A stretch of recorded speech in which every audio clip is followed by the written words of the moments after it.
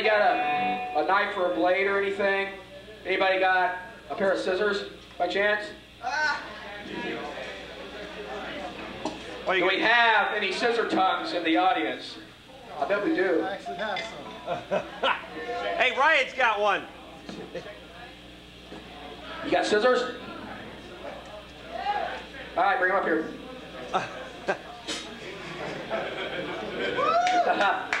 Ryan Logston, scissors. yes, all right. Well, think about what you can do with a pair of scissors. You can cut off somebody's tongue. Can you hear that? snip, snip, snip.